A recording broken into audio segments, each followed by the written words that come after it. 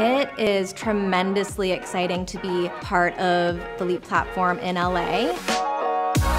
LA as a market is extremely diverse. You have everything from city life to the beach to the mountains. It's a very active customer.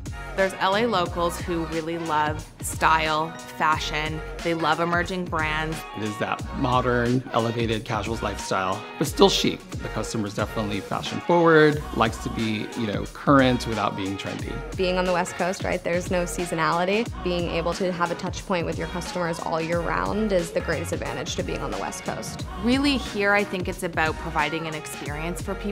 In LA, the locals are really excited to come in and be measured and to really experience the brand. Customers get so excited when they're walking the street and they say, oh my goodness, I've seen that brand on Instagram. I had no idea there was a store, and they're thrilled to be able to actually touch and feel and try on the merchandise. So you've got Abbot Kinney, you've got Melrose, you also have North Beverly Drive and Beverly Hills. There's also Century City. So what we're focused on with LEAP right now is really building out clusters within those tourist and also just high traffic areas.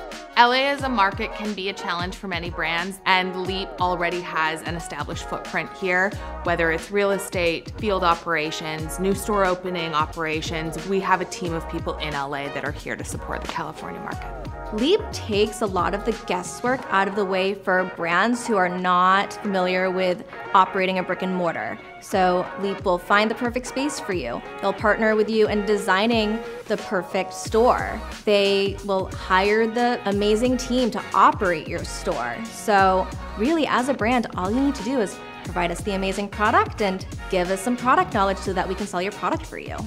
Come take the leap.